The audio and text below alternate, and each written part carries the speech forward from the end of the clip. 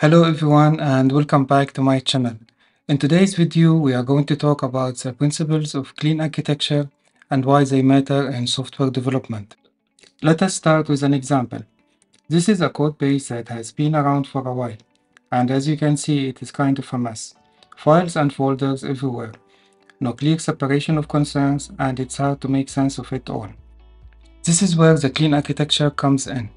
The basic idea behind the clean architecture is to separate the concerns of your application into distinct layers and make sure that each layer has a clear responsibility. At the center of the architecture is the core domain logic, which represents the business rules and logic of your application. This is surrounded by layers that handle different concerns, like the user interface, data access, and external interfaces. By separating these concerns, you can achieve several benefits. First, it makes your code base more modular and easier to reason about. Second, it makes it easier to swap out individual components or services without affecting the rest of your application. But the real magic of clean architectures come from the fact it highlights the needs of your business logic and not the need of any particular framework or technology. This means that your application can be more sustainable over time as you can evolve and improve the underlying technology stack without having to rewrite your entire application from scratch. So, without any further delay, let us start exploring the clean architecture.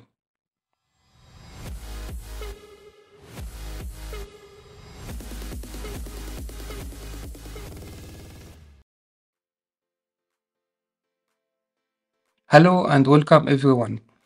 Before we start, I would highly recommend for you to watch my previous two videos, the application architecture styles and foundational architecture principles. So, let us start now. What is the clean architecture? The clean architecture is not just about writing code. It's a mindset that helps developer writing maintainable and scalable software.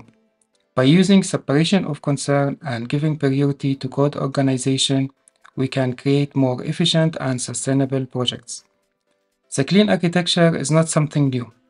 It was already introduced in 2012 and is in itself a reinvention of the wheel. The clean architecture is actually a other type of variation of uh, popular uh, architecture such as hexagonal or onion architecture. There are many differences in the design between the clean, hexagonal, and the onion architecture, but I will not go through it in this video. The clean architecture is trying to give us the best in terms of testable, maintainable, and scalable code. One of its key features is the separation of concern, mainly plain layered architecture. The problem of referencing layer will go away using the clean architecture. This will be possible since a clean architecture is also heavily based on dependency inversion. For sure, we will create interfaces or abstraction in the core so that the business logic will be entirely independent of the UI and the code base. There won't be even any references for this project. Most likely the onion architecture, the clean architecture is uh, built around uh, concentric circles. Here you can see a figure that represents a clean architecture, which is a set composed of circles. Each circle contains a layer. To explore how the code will be structured with clean architecture, we need to start in the middle and work towards the outside of the circles. We will find the core in the middle, which contain abstractions and uh, entities and interfaces. Around the entities, we will find the application logic and the services which work on the entities, and it's also considered part of the core. One very important uh, aspect is that the core is completely agnostic to any other circles that lie around it. That means that the core has completely no knowledge of any implementation details or mechanism, such as knowing how the data is stored. The implementation live in the infrastructure project or projects. But now take a look at the arrows here, which represents the dependencies. They point onwards, so toward the abstraction or the interfaces. Remember, this is exactly what dependency inversion is all about. In the core, we are working with interfaces for pretty, for pretty much everything.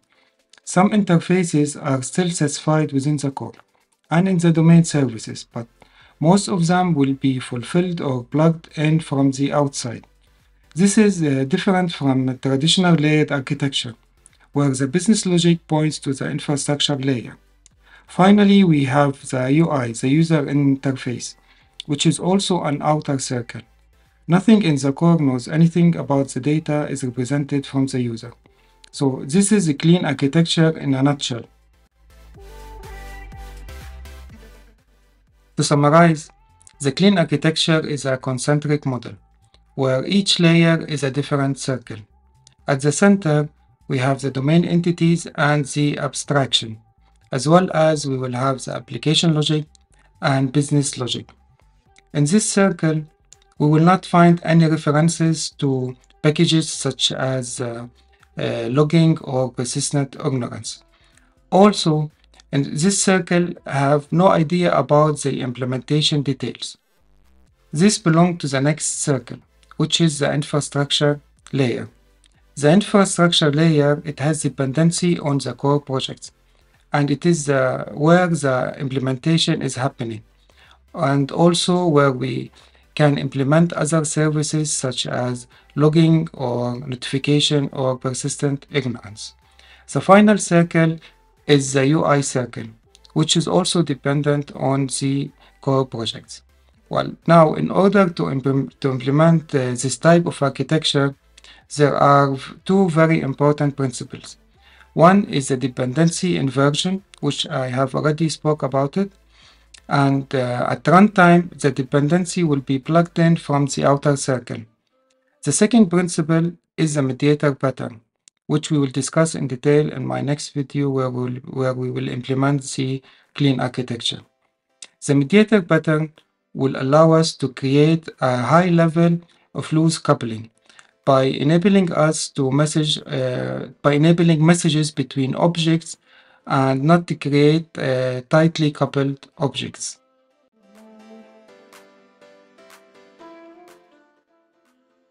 Let me help you by giving you some more information on what code is in clean architecture go where exactly. So what do we have in the core project?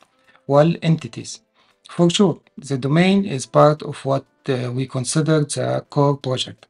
Second, we will have contract and interfaces or abstraction. The contract implementation belongs to the infrastructure. One thing I want to repeat here is that you should not have any code or dependency in the core project that is infrastructure related. In the infrastructure project, we will have the implementation of the contract. As we said, in the core project, we define what are the contract, but not how they are implemented. This belongs to the infrastructure project. In addition to that, we will have data access code, logging implementation, a client for other API, identity management, and file access. Finally, this one is pretty straightforward. I call it the UI, but it can also be an API. Specific code goes in this layer, such as middleware or filters, because they are not part of the core projects. Of course, the UI layer needs to interact with the rest of the code. In a layered architecture, the UI belongs to the business logic layer, but in a clean architecture, the UI communicate with the core projects but we want this communication to be as loosely coupled as possible. And that's why we are going to use MediatR and mediator pattern. This will create a loosely coupled design and lightweight controller, which I think is a very good design. Now that we have understand the clean architecture, here are some benefits of implementing it. The first benefit is that uh, writing code this way will make it independent of the UI or the framework use. Second benefit is that we can focus on writing our business logic code. The third benefit uh, our code will be independent of the database used. And the fourth benefit, because we are implementing persistent ignorance, our code will have high level of maintainability. Fifth benefit, uh, our code will have a good structure and a solid architecture that can cope with changes. And uh, the sixth benefits, since we can run tests uh, so easily because of the separation of concern, we can make changes with confidence. And finally, while implementing the clean architecture, we are going to find that the layers are easily to be tested in isolation or all together using unit testing, unit testing or integration test. Finally, I think that for an enterprise application that has changing over time, the clean architecture is a good choice. One word of warning though, clean architecture means more work, so it's not a perfect fit for every application. It might be an overkill for smaller project, but we all know what happened with smaller project. They become large before we know it. Uh, thanks for watching and I hope this video was helpful. Let me know in the comment if you have any question or feedback. See you in the next video.